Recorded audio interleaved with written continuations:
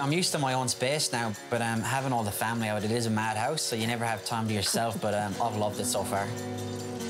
I drink a lot of coffee, so I'm happy out. But to actually, this this thing of um, getting up and oh, we'll go for coffee. I'm like, you know, we can make the coffee at home. No, he says everybody goes for coffee. I'm a Fenway, and um, I'm the oldest one in the family. I'm Quiva. I'm the baby of the family. Pearce was always quiet. He was the quiet. He, um, he was my baby. I mean, Ireland, for such a small country, you know, they've produced a lot of sports stars over the years. But with Pearce achieving what he's achieved, everybody knows about it. Everybody's happy. He has great support at home. Oh, the Irishman, the dance, the jig.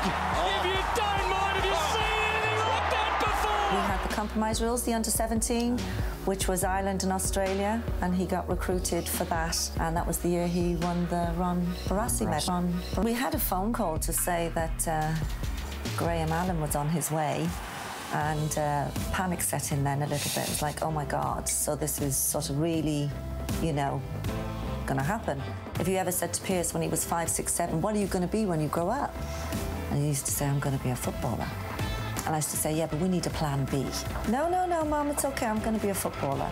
So you can imagine these guys have arrived to the house and he looks at me as if to say, "Oh, I'm going to be a footballer. Now Hanley on the fly. This is Hanley at his best.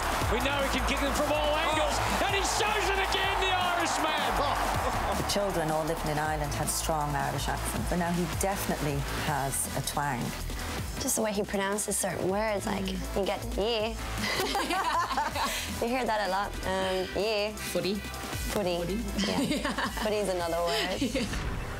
He has to come home at least once a year now.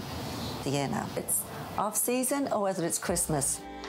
Christmas time back home is amazing, and a table as big as this is just full with food. And in the morning, the uh, the Irish fry up. It's hard to keep the skinnies down when you go home. Your sons, My your kids. son. Yeah, no, we're not going there.